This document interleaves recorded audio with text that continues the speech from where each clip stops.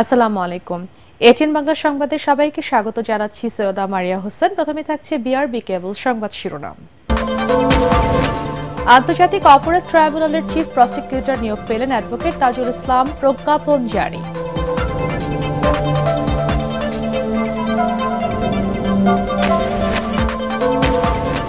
দেশে ফিরেছেন সংযুক্ত আরব আমিরাতে দণ্ডপ্রাপ্ত তেরো প্রবাসী বাংলাদেশি। বিমানবন্দরে অভ্যর্থনা জানালেন দুই সমন্বয়ক সার্জিস আলম ও হাসনাত আবদুল্লাহ। কাল থেকে নগদ টাকা উত্তোলনের সীমা তুলে নিল বাংলাদেশ ব্যাংক।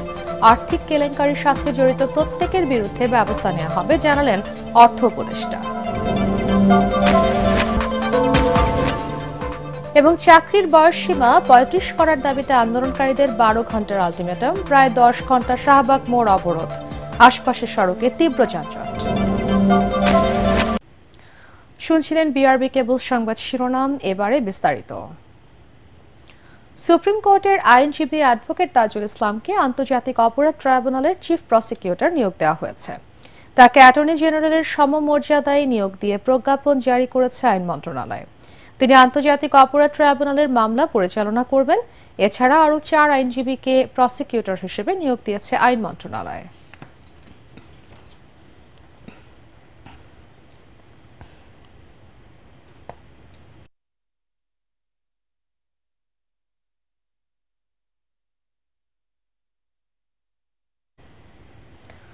সংযুক্ত আরব আমিরাতে ক্ষমা পাওয়া সাতান্ন বাংলাদেশির মধ্যে ১৩ জন বাংলাদেশি আজ দেশে ফিরেছেন। এর মধ্যে চট্টগ্রামের শাহ আমানত বিমানবন্দরে বারো জন ও ঢাকার হজরত শাহজালাল আন্তর্জাতিক বিমানবন্দরে একজন পৌঁছান। এর আগে সংযুক্ত আরব আমিরাতের ফেডারেল আদালতে দোষী সাব্যস্ত হয়ে সাজাপ্রাপ্ত বাংলাদেশিদের দেশটির president Sheikh Mohammed bin Zayed Al Nahyan ক্ষমা করেন।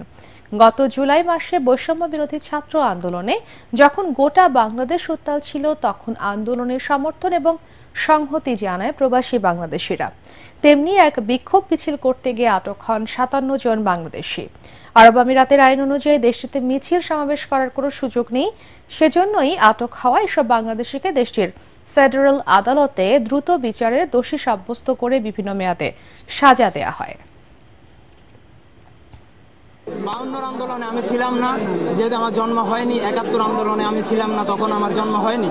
কিন্তু দুই সালের আন্দোলনে আমি ছিলাম, যেহেতু আমার জন্মগ্রহণ করা হয়ে গিয়েছিল আর আন্দোলন স্যারের সহযোগিতায় ইউএই গভর্নমেন্টের সাথে সমঝোতার মাধ্যমে আমাদের মুক্তি হয়েছে।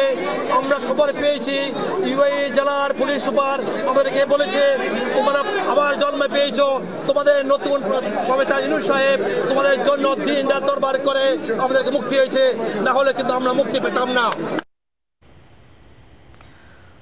ব্যাংক হিসাব থেকে নগদ টাকা উত্তোলনে নতুন নির্দেশনা দিয়েছে বাংলাদেশ ব্যাংক। এখন থেকে যে কেউ যে কোনো অঙ্কের টাকা নিজ নিজ হিসাব থেকে তুলতে পারবেন।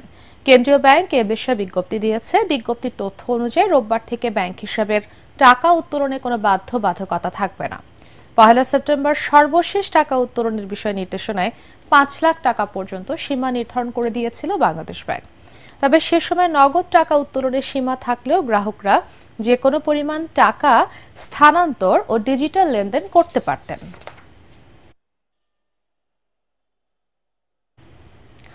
বাজারকে সিন্ডিকেট মুক্ত করে কর্তৃপক্ষের নিয়ন্ত্রণে নিয়ে আসতে সরকার কঠোর অবস্থানে রয়েছে বলে জানিয়েছেন অর্থ ও বাণিজ্য উপদেষ্টা ডক্টর সালেউদ্দিন আহমেদ। রাঘব বোয়ালদের ব্যাংক হিসেব স্থগিত করা হচ্ছে জানিয়ে তিনি বলেন তদন্ত করে আর্থিক কেলেঙ্কারির সাথে জড়িত প্রত্যেকের বিরুদ্ধে ব্যবস্থা নেওয়া হবে। Bangladesh Institute of Governance Management BIGM এর সভা শেষে এসব কথা বলেন উপদেষ্টা শারফুল আলমের রিপোর্ট। নিত্য প্রয়োজনীয় পণ্যের পর্যাপ্ত মজুত রয়েছে মোকামগুলোতে। তারপরও চড়া দামে কিনতে হচ্ছে সবজি সহ সব ধরনের পণ্য। অন্তর্বর্তীকালীন সরকার দায়িত্ব নেওয়ার পর বাজারে পণ্য সরবরাহ ব্যবস্থা সচল রাখতে সব ধরনের উদ্যোগ নিয়েছে। কমানো হয়েছে আমদানি করা আলু ও পেঁয়াজের শুল্ক হারও। এসব উদ্যোগের তেমন একটা প্রভাব নেই বাজারে। উৎপাদন থেকে ভোক্তা পর্যন্ত পণ্য সরবরাহে সব ধরনের প্রতিবন্ধকতা দূর করতে চায় সরকার। এজন্য ধাপে ধাপে কাজ করছে জানিয়ে অর্থ ও বাণিজ্য উপদেষ্টা জানান। সরকারের সিদ্ধান্ত বাস্তবায়নে সব পক্ষের সহযোগিতা প্রয়োজন। আপনার যদি বাজারে আমরা মনিটর করতে বলেছি খুব শক্তভাবে মনিটর করবে। চাঁদাবাজের ব্যাপারটা আমরা ডিসিদের কাছে বলেছি আরেকটু শক্তভাবে এই যে পাই সাহেবকে বা আমার এসেকে বলব। এটা হলে কিন্তু অনেকটা একেবারে যে কমে নাই তা না। এইগুলো আমরা আইডেন্টিফাই করা হয়েছে এবং আমরা ভোক্তা অধিকার আইনের বিষয়কে বলেছি। টট করে কিন্তু একটা কথা ডোন রক দ্য বোট নৌক একেবারে না রেডিয়াম না। আমিও পড়ে যাব আপনার সবাই পড়ে যাবে। আমরা আস্তে আস্তে করে আইডেন্টিফাই করে নিতে নিচ্ছি। আমরা একেবারে যে জানি না তা না। নেব। এখানে এখানে আপনাদের সহযোগিতা। নতুন সরকার দায়িত্ব নেওয়ার পর দেশের বৃহৎ ছয়টি শিল্প প্রতিষ্ঠানের ব্যাংক হিসাব জব্দ করা হয়েছে। এখনও অনেকেই ধরাছোঁয়ার বাইরে রয়ে গেছে। তদন্ত করে আর্থিক কেলেঙ্কারির সাথে জড়িত প্রত্যেকের বিরুদ্ধে ব্যবস্থা নেওয়া হবে বলে জানান অর্থ ও বাণিজ্য উপদেষ্টা। অনেকের ব্যাংক হিসেবে জব্দ করেছে এটা প্রিলিমিনারি তারপর এগুলো ইনভেস্টিগেশন হবে বিভিন্ন এজেন্সি ইনভেস্টিগেট করবে। তারপরে তদন্ত করার পর আলটিমেটলি এটা তো আপনার যদি আপনার কোনো তদন্ত হয়তো চার্জ দেবে, কোর্টে যাবে, এটা এটা হবে দ্রুত। এবং এটার জন্য তো একটা ফোর্স হচ্ছে ফিরে আনার জন্য, খুব টেকনিক্যাল জিনিস। আর বাকিগুলো তো মানি লন্ডারিং অন্যগুলো ইস্যু হচ্ছে। আর আমরা তো কালো টাকা সাদা করার ব্যাপারে আর একদম কিছু না। এখন সরাসরি এনবিআর তাদের ব্যবস্থা দেবে। যাদের অপদৃশ্যতা আছে, তাদেরকে তো এক প্রশ্নের উত্তরে অর্থ ও বাণিজ্য উপদেষ্টা জানান, দ্রুতই বাংলাদেশ ব্যাংকের ডেপুটি গভর্নর নিয়োগ দেওয়া হবে। শরফুল আলম, এটিএন বাংলা, ঢাকা। গণভবনকে জুলাই অভ্যুত্থানের স্মৃতি জাদুঘর করে শীঘ্রই জনগণের জন্য উন্মুক্ত করে দেওয়া হবে বলে জানিয়েছেন ডাক টেলিযোগাযোগ ও তথ্য প্রযুক্তি উপদেষ্টা নাহিদ ইসলাম। সেই সঙ্গে গত ষোলো বছরে আওয়ামী লীগ সরকারের স্বৈরাচারী শাসন গুম, খুন, নির্যাতনের চিত্র স্থান পাবে জাদুঘরে। গণভবন পরিদর্শন শেষে সরকারের উপদেষ্টারা জানান, অন্তর্বর্তী সরকারের প্রধান উপদেষ্টা ডক্টর মোহাম্মদ ইউনুস যমুনাতেই থাকবেন। রিপোর্ট করছেন আদ্দিন সজীব। কড়া নিরাপত্তা বেষ্টনীর এই লাল ইটের দেয়াল ছেড়ে যখন শেখ হাসিনা পালিয়ে যান, তখন বিজয় উল্লাসে মাতে পুরো বাংলাদেশ। পাঁচ আগস্ট বৈষম্যবিরোধী ছাত্র আন্দোলনের ডাকে লং মার্চ টু ঢাকা কর্মসূচিতে লাখ লাখ ছাত্র জনতার গণ অভ্যুত্থান, গণভবনমুখী জনস্রোতে স্বৈরাচার মুক্ত হয় স্বদেশ। শেখ হাসিনার সরকার পতনের এক মাস পর সেই গণভবনে এলেন অন্তর্বর্তীকালীন সরকারের তিন উপদেষ্টা আদিলুর রহমান, নাহিদ ইসলাম এবং আসিফ মাহমুদ সজীব ভুঁইয়া। ঘুরে দেখেন আওয়ামী লীগ দুঃশাসনের নানা বিতর্ক ও ষড়যন্ত্রের সাক্ষী গণভবন। গণভবন নামে এই যে বাসভবনটি প্রধানমন্ত্রী বাসভবনটি ছিল, আর সেটিকে জুলাই গণভ্যুত্থানের স্মৃতি জাদুঘরে রূপান্তর করা হবে। ছত্রিশে জুলাই অথবা পাঁচই আগস্ট, জনগণ এইটি জয় করেছে। জনগণের বিজয়কে ধারণ করে রাখার উদ্দেশ্যেই এই এই গণভবনকে জাদুঘরে পরিণত করা হবে। উপদেষ্টারা জানান ছাত্র আন্দোলনের অগ্নিগর্ভ ছত্রিশ দিনের দিনলিপি শহীদদের তালিকা ষোলো বছরের স্বৈরাচারী শাসনের দুঃসহ ইতিহাস জনসাধারণের সামনে তুলে ধরতেই গণভবনকে স্মৃতি জাদুঘর হিসেবে গড়ে তোলার এই সিদ্ধান্ত। এই যে ছত্রিশ দিনের যে অভ্যুত্থানটি সেই অভ্যুত্থানের পুরো সামগ্রিক স্মৃতিটা থাকবে দিনলিপিতে থাকবে। আমাদের যে শহীদ যারা হয়েছেন এই আন্দোলনে, তাদের স্মৃতি থাকবে, তাদের তালিকা থাকবে। পুরো ষোলো বছরের যে আমাদের যেই নিপীড়ন হয়েছে, যারা গুম হয়েছে, তাদের তালিকা থাকবে এবং যাতে বিচার বহির্ভূত হত্যা হয়েছে, এই সকল বিষয়গুলার একটা রিপ্রেজেন্টেশন থাকবে। যেই স্থাপত্যটি এখন ভগ্নাবশেষ অবস্থায় আছে, সেটিকে সর্বোচ্চ সেই অবস্থায় রেখেই আমরা হচ্ছে এই জাদুঘরটি করা হবে। বাংলাদেশের প্রধানমন্ত্রীর এই বাসভবন জাদুঘর হলে অন্তর্বর্তীকালীন সরকারের প্রধান উপদেষ্টা। কোথায় থাকবেন সে প্রশ্নেরও জবাব দেন উপদেষ্টা।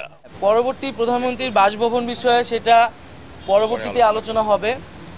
এখন আমাদের যে প্রধান উপদেষ্টা ডক্টর মোহাম্মদ ইউনুস তিনি যেখানে আছেন যমুনাতে তিনি সেখানেই থাকবেন। স্থাপত্য শিল্পী এবং আর্কিটেক্টদেরকে নিয়ে যারা জাদুঘর বিশেষজ্ঞ আছেন তাদেরকে নিয়ে একটি কমিটি করা করে দেওয়ার মাধ্যমে এটার কার্যক্রম শুরু হবে। শহীদদের তালিকা অনেকটা এগিয়েছে বলেও জানান উপদেষ্টারা। খুব শিগগিরই সেই তালিকা প্রকাশ করার কথাও জানান তারা। শহীদ পরিবারদের ব্যাপারে যে কমিটমেন্টগুলো আর্থিক এবং অন্যান্য প্রতিশ্রুতিগুলো সেখান থেকে দেওয়া হবে এবং যে তালিকাটিও সেখান থেকে আমরা ঘোষণা করব। এটা এই মাসের মধ্যেই হবে। সেই সঙ্গে জুলাই আগস্টের ছাত্র জনতার আন্দোলনে আহতদের পাশে থাকার অঙ্গীকারের কথাও আবার উল্লেখ করেন অন্তর্বর্তী সরকারের এই তিন উপদেষ্টা। কেবল জুলাইয়ের অভ্যুত্থান নয় গত ষোলো বছরে আওয়ামী লীগ সরকারের যে দুঃশাসন, স্বৈরাচারী মনোভাব এবং তার বহিঃপ্রকাশ হয়েছে, গুম, খুন এবং নির্যাতনের শিকার হয়েছেন বহু মানুষ।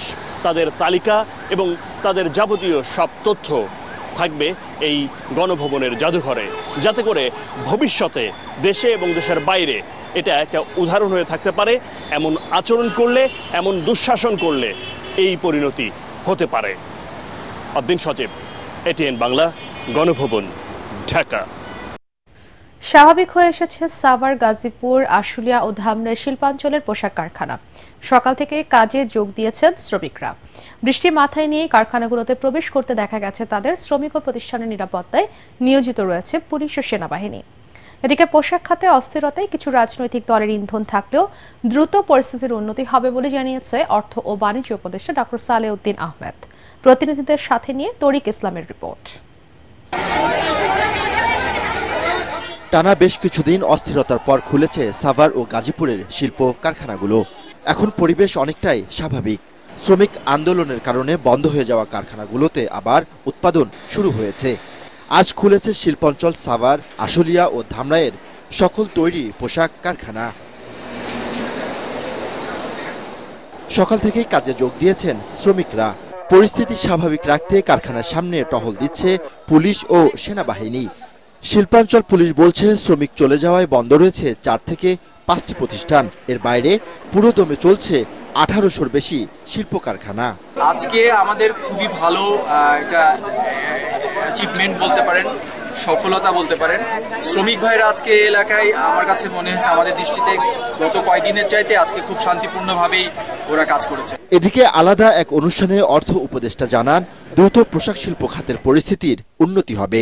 শ্রমিকদের মালিকদের সাথে ওরা কথাবার্তা হচ্ছে চলছে। এবং এখানে কিন্তু অন্যান্য রাজনৈতিক দলও কিন্তু ওরা সহযোগিতা করছে আপনাদেরকে ইন্ধন দিচ্ছে। ইন্ধন দিচ্ছে এমন ওরা সহযোগিতা করছে। ইন্ধন যারা দিচ্ছে তাদের ব্যাপারে সহযোগিতা করছে।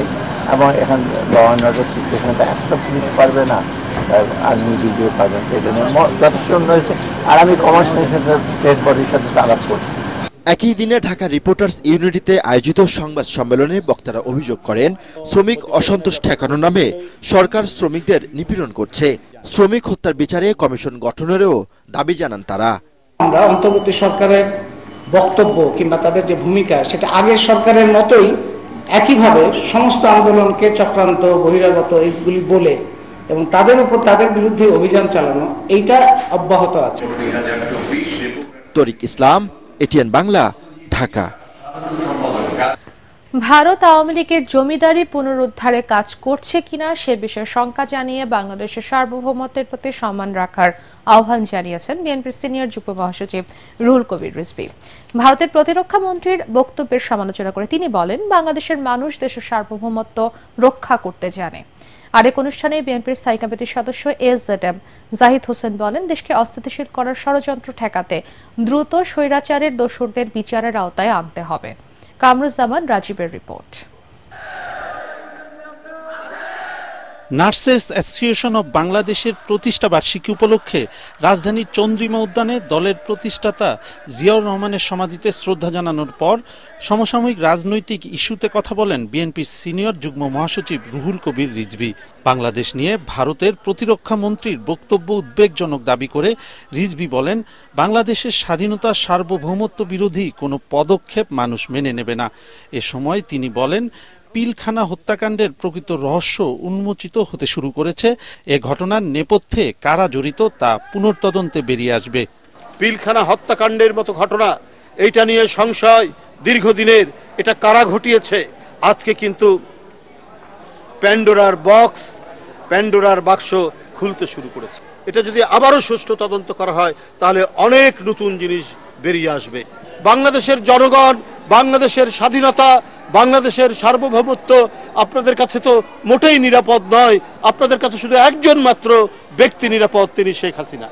আমরা যেমন ভারতের স্বাধীনতা সার্বভৌমত্বকে শ্রদ্ধা করি, ভারতেরও উচিত হবে বাংলাদেশের স্বাধীনতা সার্বভৌমত্বকে শ্রদ্ধা করা। এদিকে বিএনপির নয়াপল্টন কেন্দ্রীয় কার্যালয়ের ত্রাণ সংগ্রহ কেন্দ্রে ত্রাণ বিতরণ কার্যক্রমের তথ্য তুলে ধরেন দলের স্থায়ী কমিটির সদস্য doctor A Z M Zahid Hossain.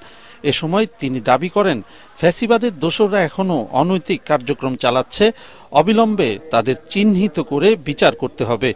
যতদিন পর্যন্ত না আমাদের সেই গুম সেই হত্যা রাজনৈতিক হত্যা আর এই ছাত্র জনতার আন্দোলনে সহস্রাধিক ছাত্র জনতা রাজনৈতিক কর্মী হত্যার বিচার না হবে, লক্ষ লক্ষ কোটি টাকা লোপাটের বিচার না হবে এবং এই রেজিমের সাথে সম্পৃক্ত যারা, তাদের মূলোৎপাটন করে তাদেরকে বিচারের আওতায় যদি না আনা যায়, দেশের বিরুদ্ধে গভীর ষড়যন্ত্র বন্ধ হবে না। অন্যদিকে ছাত্র জনতার হত্যার দায়ে শেখ হাসিনা সহ জড়িতদের বিচারের দাবিতে রাজধানীর শেরেবাংলা নগরে বিক্ষোভ মিছিল করেছে ঢাকা মহানগর উত্তর বিএনপি। কামরুজ্জামান রাজীব, এটিএন বাংলা, ঢাকা। সরকারি চাকরিতে প্রবেশের বয়সসীমা ন্যূনতম পঁয়ত্রিশ করার দাবি পূরণে বারো ঘণ্টার আলটিমেটাম দিয়েছে আন্দোলনকারীরা। প্রায় দশ ঘণ্টা শাহবাগ অবরোধ করার পর কোনো আশ্বাস না পেয়ে ঘোষণা দেন তারা। দাবি পূরণ না হলে আগামীকাল ফের সকাল দশটায় শাহবাগে অবস্থান করার ঘোষণা দেয়া হয়। এই আন্দোলনের সাথে সংহতি জানিয়ে নাগরিক ঐক্যের সভাপতি মাহমুদুর রহমান মান্না বলেছেন বয়সসীমা পঁয়ত্রিশ করার দাবি যৌক্তিক। রিপোর্ট করছেন মনির হোসেন তপু।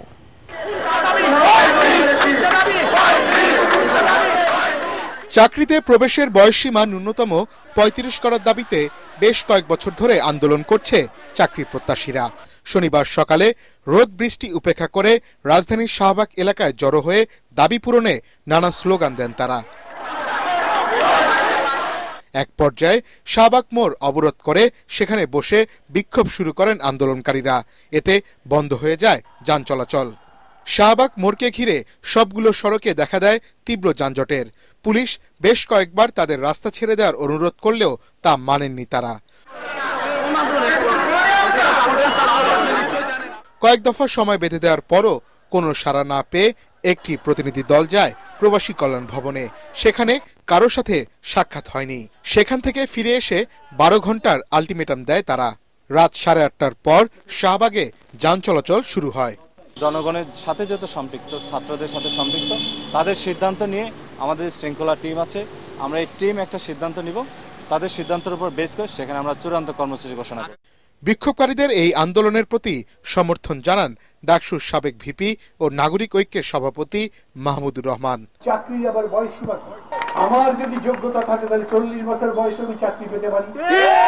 একজন সামরিক বাহিনীর অফিসার একজন আমলা নিজেরা চাকরি শেষ করবার পরে যদি আবার চুক্তি ভিত্তিতে নিয়োগ পেতে পারে, তাহলে এই তরুণ যারা ইতিহাস তৈরি করব, তারা পাবে না কেন? আন্দোলনকারীরা জানান গড়ায়ু বাড়ার পরও চাকরিতে প্রবেশের বয়সসীমা বাড়ানো হয়নি। ফলে দেশে উচ্চশিক্ষিত বেকারের সংখ্যা বাড়ছেই। মনির হোসেন তপু, এটিএন বাংলা, ঢাকা। শেখ হাসিনার পদত্যাগের দাবিতে ছাত্র জনতার গণ অভ্যুত্থানে অংশ নেওয়া আহতদের চিকিৎসা দিতে অস্বীকৃতি জানানো চিকিৎসকদের। তালিকা প্রণয়ন করে বিএমটিসির রেজিস্ট্রেশন বাতিলের দাবি জানিয়েছে বিএনপি পন্থী চিকিৎসকদের সংগঠন doctors association of Bangladesh, DAB. একই সঙ্গে স্বাস্থ্য অধিদপ্তর সহ অন্যান্য সব সরকারি স্বাস্থ্য প্রতিষ্ঠানের গুরুত্বপূর্ণ পদ থেকে অযোগ্য দুর্নীতিবাজ ও ফ্যাসিবাদের দোসর চিকিৎসকদের অপসারণের দাবিও জানিয়েছে সংস্থাটি। সরকারি জাতীয় প্রেস ক্লাবের তফাজ্জল হোসেন মানিক মিয়া হলে এক সংবাদ সম্মেলনে এসব দাবি জানানো হয়। এ সময় স্বাস্থ্য ও পরিবার কল্যাণ মন্ত্রণালয় এবং স্বাস্থ্য অধিদপ্তরের স্থবিরতা নিরসনে স্বাস্থ্য অধিদপ্তরের মহাপরিচালক ডাক্তার রোবেদ আমিনের অপসারণ সহ সাত দফা দাবি জানায় ড্যাব। ন্যায্য দাবিসমূহ মানা না হলে চিকিৎসক সমাজকে ঐক্যবদ্ধ করে আগামীতে আন্দোলন বিস্তৃত করা হবে বলে হুঁশিয়ারি দেন সংগঠনটির নেতারা। প্রফেসর রোবেদ আমিনের পদত্যাগ, যারা পদায়িত হয়েছে স্বৈরাচারের দোষর, তাদের পদত্যাগ, একটা সুষ্ঠু স্বাস্থ্য ব্যবস্থা, স্বৈরাচারের দোষরদের অপসারণ, যারা দুর্নীতিতে নিমজ্জিত ছিল তাদের তদন্ত সাপেক্ষে বিচার এগুলি তো আমার একার দাবি না আপনাদের সবার দাবি। কাছে কাছেই এই সরকার এই জনতার সরকার তারা এটা শুনবে এবং ইনশাল্লাহ আমাদের দাবি মানবে। নির্বাচনে প্রবাসী নাগরিকদের ভোট দেওয়ার সহজ ও কার্যকর পদ্ধতি চালু করার আহ্বান জানিয়েছে প্রবাসী অধিকার আন্দোলন। ঢাকা রিপোর্টার্স ইউনিটি মিলনায়তনের সংবাদ সম্মেলনে সংগঠনটির আহ্বায়ক নুরুল মোস্তফা খোকুন বলেন, প্রচলিত পোস্টাল ব্যালটে ভোট দেয়া দীর্ঘমেয়াদী ও জটিল প্রক্রিয়া। ভোটদান প্রক্রিয়ায় স্বচ্ছতা আনতে ও সময় বাঁচাতে প্রবাসীদের জন্য অনলাইন ভোটিং পদ্ধতি চালু করার আহ্বান জানান তিনি। অনুষ্ঠানে অন্যান্যের মধ্যে বক্তব্য রাখেন নির্বাচন বিশ্লেষক ডক্টর আব্দুল আলী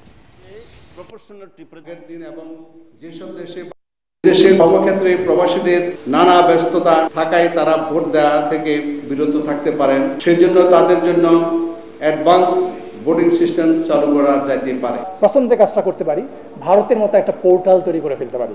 যাতে করে যারা বাইরে থাকেন, তারা খুব সহজে ভোটার হতে পারেন। নতুন যে কমিশন দায়িত্ব নেবে, তারা এটাকে একটা প্রকল্প হিসাবে চালু করতে পারে। যে আমরা আগামী যে জাতীয় নির্বাচন হবে তেরোতম জাতীয় সংসদ নির্বাচন। সেই নির্বাচনে প্রবাসীদেরকে যে তেরো, এক দশমিক পাঁচ কোটি ভোটার, তাদের তাদের ভোটাধিকার নিশ্চিত করার জন্য একটা দীর্ঘমেয়াদী একটা পরিকল্পনা গ্রহণ করা। প্রশাসনকে ঢেলে সাজাতে অন্তর্বর্তী সরকারের প্রতি আহ্বান জানিয়েছেন ইসলামী আন্দোলন বাংলাদেশের সিনিয়র নায়েবে আমির সৈয়দ মোহাম্মদ ফয়জুল করিম। ঢাকা মহানগর দক্ষিণ আয়োজিত তৃণমূল দায়িত্বশীল সম্মেলনে তিনি কথা বলেন। ফয়জুল করিম বলেন দেশের প্রধান সমস্যা দুর্নীতি। টাকা বা সম্পদের কোনো অভাব নেই বাংলাদেশে, তাই এদেশের আমূল সংস্কার করার আহ্বান জানান তিনি। আল আরাফা ইসলামী ব্যাংক অর্থ সংবাদ।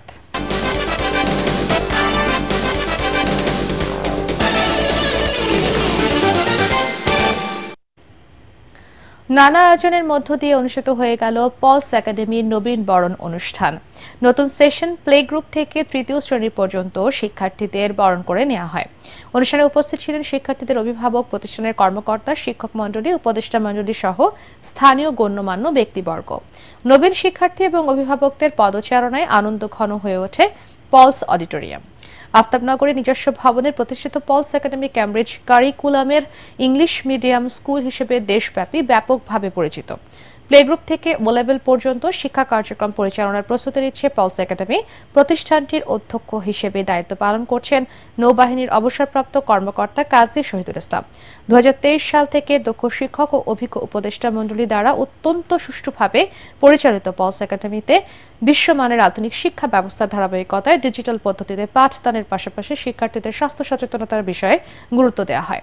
শিক্ষার্থীদের শুরু থেকেই ইংরেজি সহ বিভিন্ন ভাষায় দক্ষতা অর্জনের জন্য পৃথকভাবে সংশ্লিষ্ট শিক্ষকদের মাধ্যমে প্রশিক্ষণ দেওয়া হয়। পর্যায়ে পার্টেক্স খেলার খবর।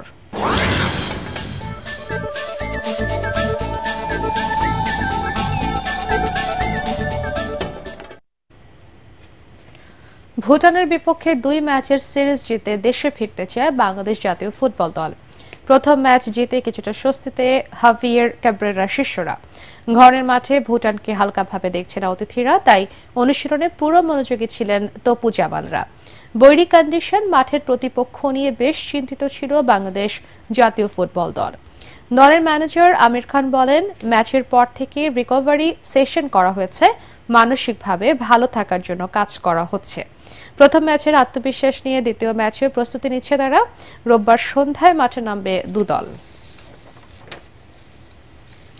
শেষ করার আগে বিআরবি কেবল সংবাদ শিরোনাম আরও একবার। আন্তর্জাতিক অপরাধ ট্রাইব্যুনালের চিফ প্রসিকিউটর নিয়োগ পেলেন অ্যাডভোকেট তাজুল ইসলাম, প্রজ্ঞাপন জারি।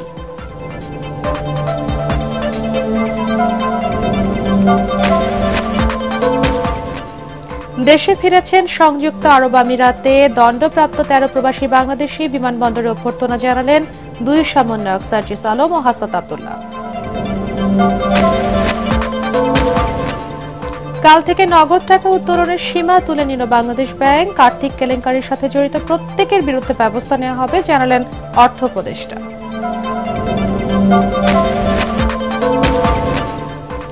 এবং চাকরির বয়স সীমা পঁয়ত্রিশ করার দাবিতে আন্দোলনকারীদের বারো ঘণ্টার আলটিমেটাম, প্রায় দশ ঘণ্টা শাহবাগ মোড় অবরোধ, আশপাশের সড়কে তীব্র যানজট। পরবর্তী সংবাদ দেখার আমন্ত্রণ জানিয়ে এখনকার মতো শেষ করছি। এটেন বাংলার সংবাদ। ইউটিউবে দেখতে ব্রাউজ করুন YouTube slash ATN Bangla news. ধন্যবাদ সবাইকে।